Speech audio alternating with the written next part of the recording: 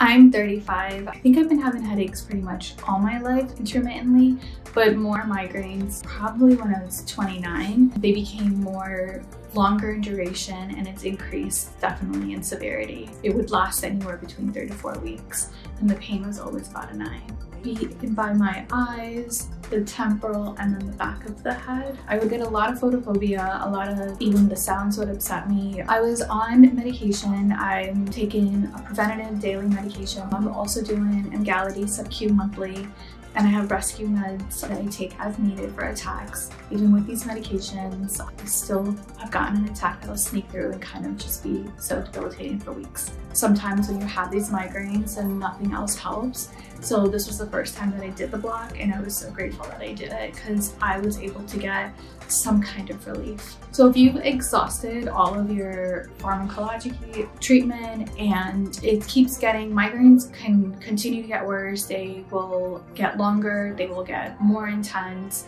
definitely seek out your options, definitely reach out and see what else there is. There's an intervention that may help, you, you definitely want to utilize it.